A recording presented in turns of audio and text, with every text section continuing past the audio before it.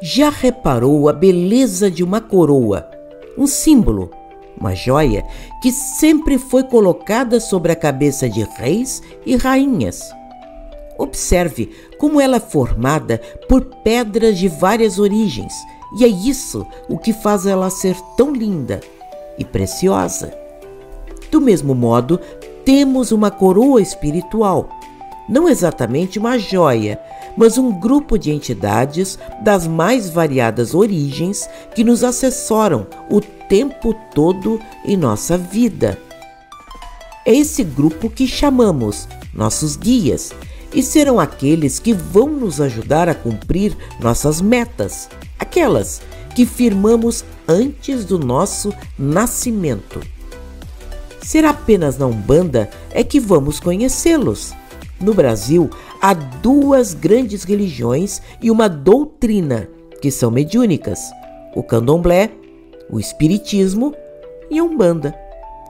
Nesses três, incorporar e trabalhar com espíritos é uma rotina, mesmo que para o candomblé alguns creem que incorporem forças da natureza.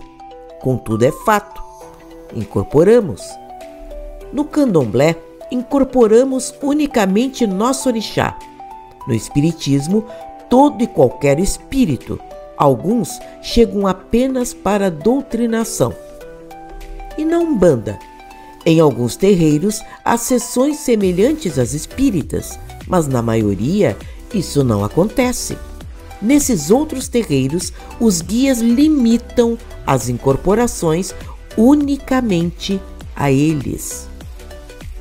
Mas, resumidamente, na Umbanda, vamos incorporar um grupo limitado de espíritos.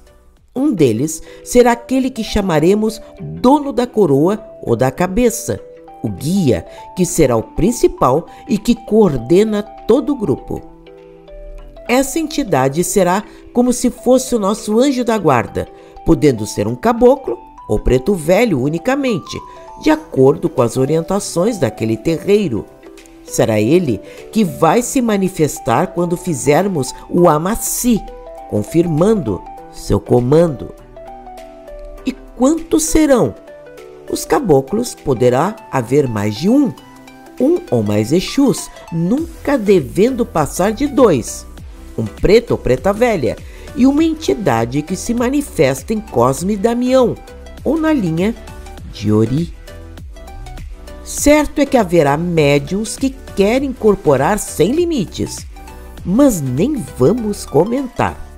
Esse agrupamento será nossa coroa espiritual, um grupo de entidades que são diretamente responsáveis por nossos trabalhos na Umbanda, agindo ativamente para o nosso progresso espiritual no cumprimento de nossos compromissos. Mas só eles mesmo. Alguns médiums poderão ter outras entidades, como aquelas que pertençam à linha do Oriente, com entidades curadoras doutrinadoras, que chegarão em dias especiais. Em outros estados do Brasil, poderão chegar encantados, semirombas, boiadeiros ou até marinheiros, mas deixaremos em aberto, já que não acontece com todo mundo. Essas outras entidades normalmente chegam conforme os trabalhos daquele terreiro, que terá giras especiais para a chegada dessas entidades. Assim, o médium será estimulado a permitir a chegada de um deles, que nem sempre nasceu ao lado do médium, mas foi incorporado pela necessidade de sua presença ali.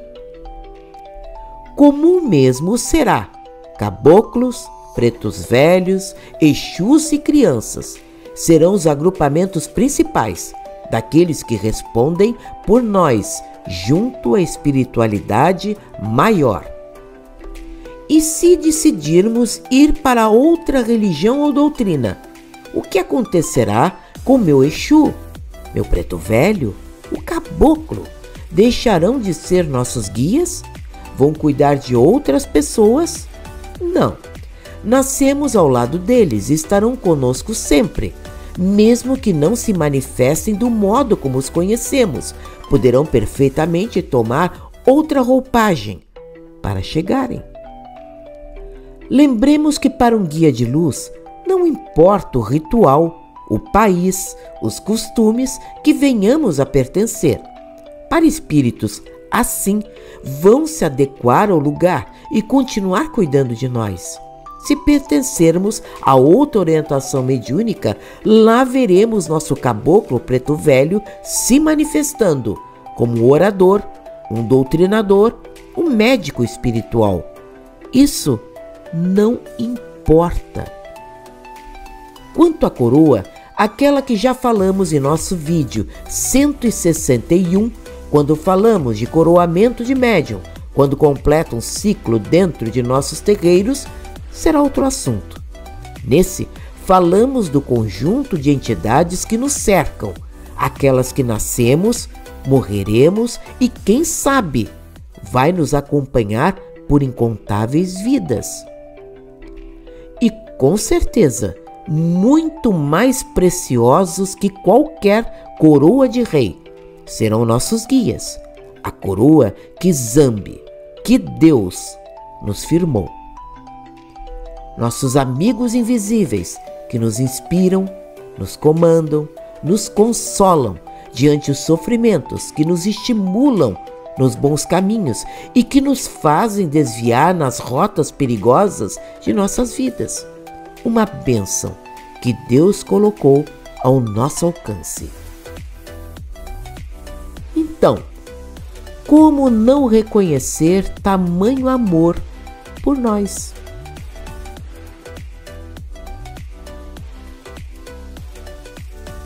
Gostou? Dê like e compartilhe em suas redes sociais. Toda semana um vídeo curtinho, cheio de real conteúdo, feito unicamente para você. Até a próxima!